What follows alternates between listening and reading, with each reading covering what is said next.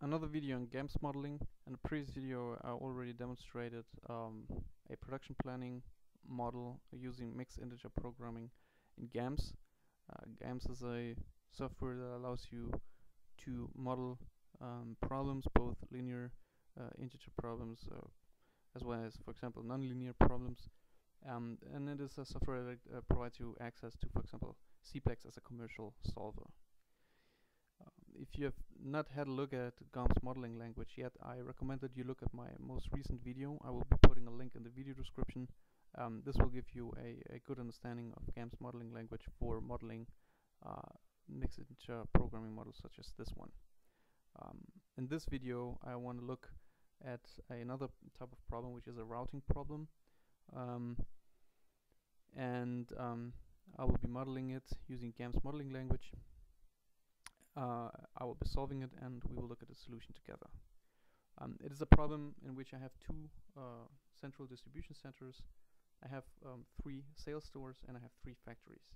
Uh, the problem, uh, the problem uh, consists of um, minimizing transportation costs such as um, the demand for products at the sales stores is satisfied, the supply of the factories um, is um, taken into account and, and fully utilized, and the capacities of the uh, um, central distribution hubs is not exceeded.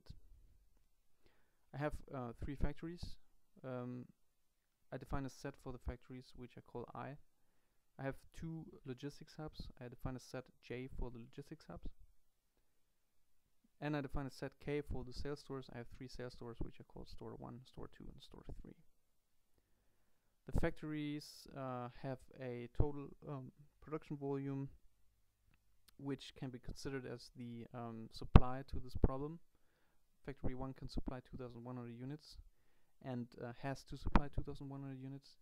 Factory 2 has to supply 3000 units and Factory 3 has to supply 3000 units. The sales stores, they all have demand of 2700 units, so they need exactly 2700 uh, uh units of, uh, of goods. And the logistics hubs, they have um, a total uh, uh, capacity of 2000 and uh, 3000 units respectively. So this is the total volume that they can receive and ship. Um, so they can receive 2000 units, for example, in hub 1, and they can ship 2000 units in hub 1. hub 2 can receive 3000 units, and it can ship 3000 units. So this is uh, some important information. We know the uh, the setup of our network, um, we know that um, we have uh, specified supply and demand and we have some capacity constraints for the logistics hubs. The idea behind the logistics hub is to consolidate volumes. Um, so they take um, using a logistics hubs enables you to ship smaller volumes to a central place where you can consolidate volumes and then ship um, larger volumes. That allows you to achieve higher fill degrees in your in your trucks uh, and in your containers. Um, it also allows you to negotiate freight rates um, uh, better, so you can achieve uh, lower freight rates and thus minimize your transportation costs by using a logistics hub. And for this, we have some cost information here. So we know what it will cost to ship something from a factory to a logistics hub. This is a table specified for the factory and logistics hub domain.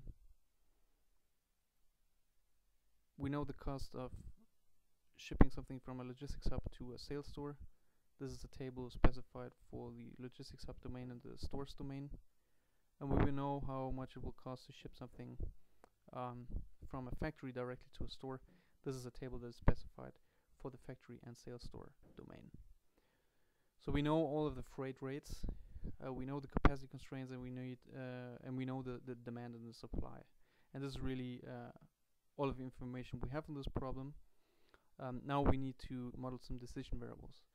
I use three decision variables. The first one is the volume transported from a factory to a logistics hub.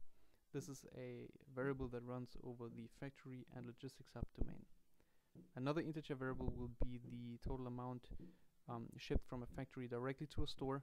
This is a variable running over the i and k set, so the factory and stores domain. The last uh, decision variable I have is the volume uh, transport from a logistics hub to a sales store. This is a variable that is also an integer variable running over the logistics hub and sales store domain. I have a continuous variable which uh, represents the objective. So I call this one goal. This is the objective that we seek to optimize.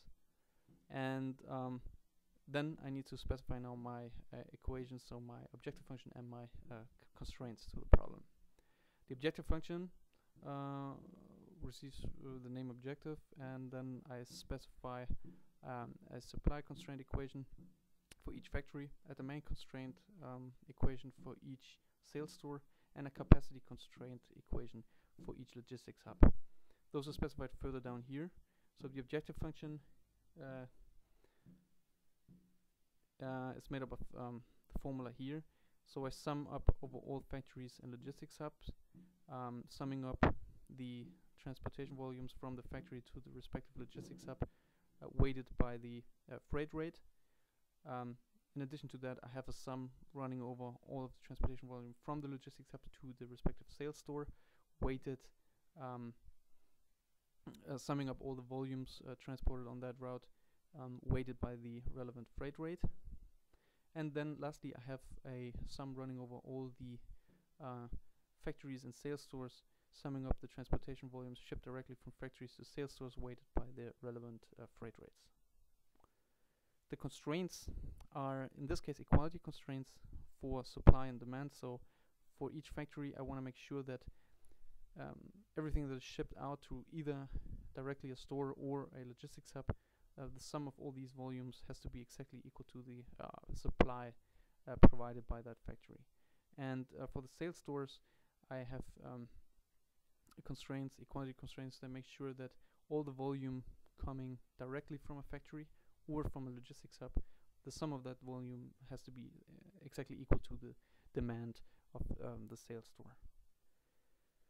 For the logistics hub, I have less than or equal to constraints, so I sum up all the volume coming in from factories, and I um, make sure that this volume is less than or equal to the total capacity of um, this logistics hub. And these are really the constraints that I need for this uh, problem. I don't need to specify any lower bounds for my for my decision variable since um, by default the lower bound for an integer variable will be zero. So I can build my model now. I call it network routing. I include everything that has been stated up here. This is why I put all here in between the slashes.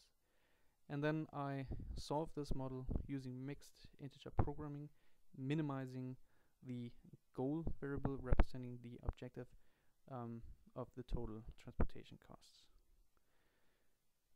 And I execute it.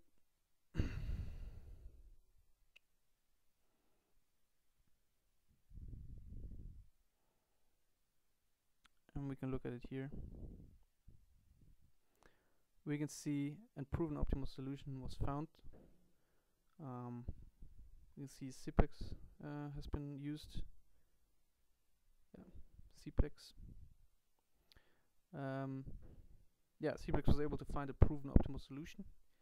Um, the the minimal uh, transportation costs were 21,840 monetary units. So this is the the optimal uh, transportation costs um, that can be achieved. And in terms of the optimal solution, uh, we can see here it is confirmed that all the supply is fully utilized and not exceeded all the demand is fully met and not exceeded. And we can also see that the logistics hubs are in fact in this case fully utilized. So uh, they uh, they are definitely uh, useful for reducing transportation costs in this example, um, and they are fully utilized. In greater detail, we can see here that um, factory one